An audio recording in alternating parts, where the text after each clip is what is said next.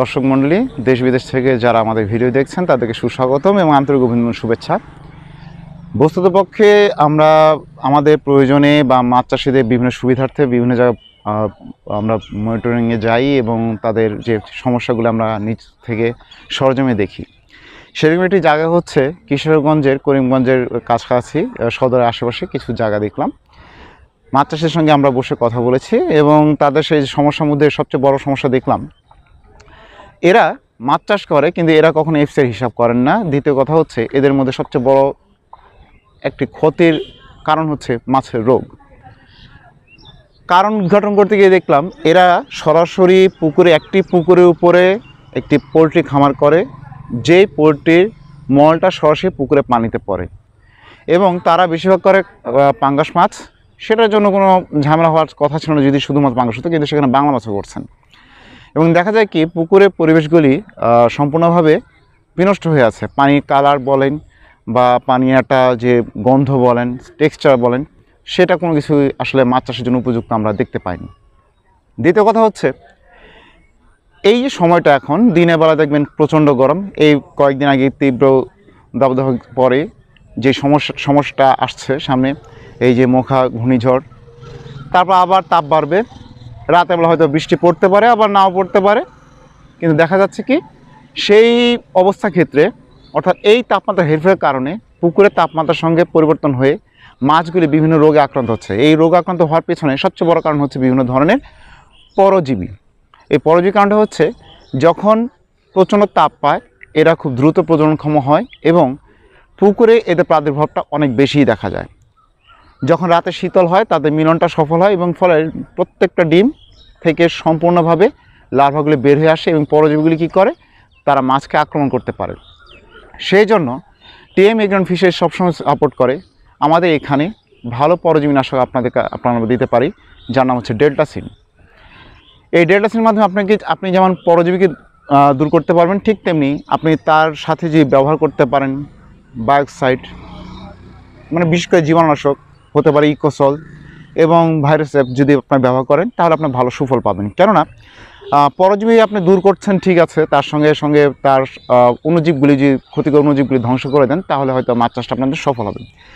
যেহেতু এই মৌসুমটা হচ্ছে মাছ চাষের জন্য একটা উপযুক্ত সময়, এখন যারা সেকেন্ড হারভেস্টিংয়ে যাচ্ছে, তারা পুকুর প্রস্তুত করছে বা চাপের কিছু পোনা এর আগে সঞ্চিত পোনা এনে ছাড়ছেন। এই মুহূর্তে দেখা যাচ্ছে তারা মাছগুলি দ্রুত বাড়ানোর জন্য যা খাবার পাচ্ছেন সেটাই দিচ্ছেন, পানি অবস্থা কি সেটা দেখছেন না, মাছের ঘনত্ব হিসাব করছেন না, মাছের প্রয়োজনীয় চাহিদা, পুষ্টি চাহিদা দিকে না তাকিয়ে ওই পোলট্রি খামারের যে লিটার সেটা ডিরেক্ট দিচ্ছেন অথবা মলটাকে দিচ্ছেন।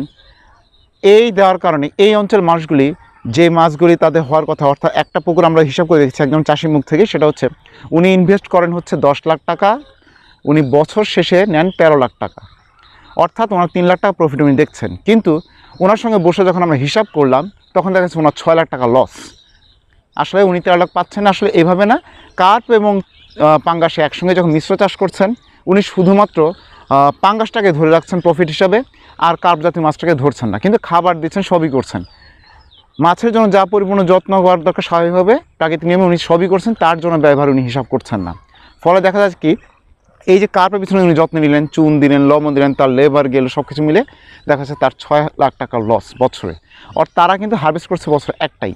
কিন্তু সঠিক নিয়মে যদি কেউ চাষ করে, বছরে চার তিনটি আবাদ করা সম্ভব। যদি কেউ সঠিকভাবে মাছ চাষটা করতে পারে। সেই জন্য আমরা সবসময় পরামর্শ দিয়ে থাকি যে মাছ চাষের ক্ষেত্রে যে কোনো সমস্যায় আপনার অভিজ্ঞদের কাছ থেকে পরামর্শ নিন, তারপর সেই প্রযুক্তি আপনার ব্যবহার করুন। নিজ থেকে এই বর্তমান পরিবেশে প্রাকৃতিকভাবে আপনার যে পুকুরটা আগে করতেন, সেই পুকুরে ভৌত অবস্থা, বিশেষ করে মাটি এবং পানি যে গুণাবলী ছিল, সেই গুণাবলী এখন আর নেই।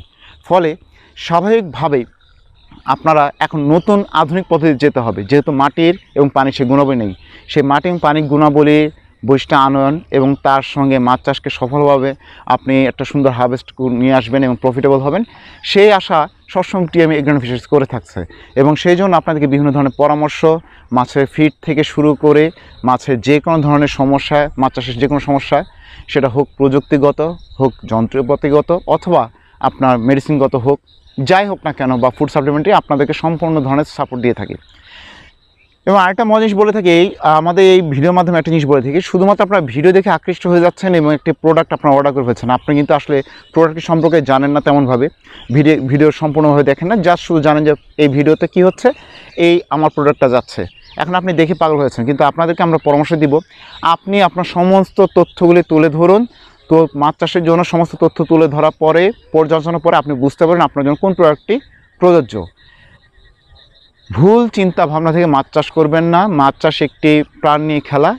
এই মাছ চাষ আপনা আমার সকলের পেটের আহার। হালাল জিনিস আবাদ করুন।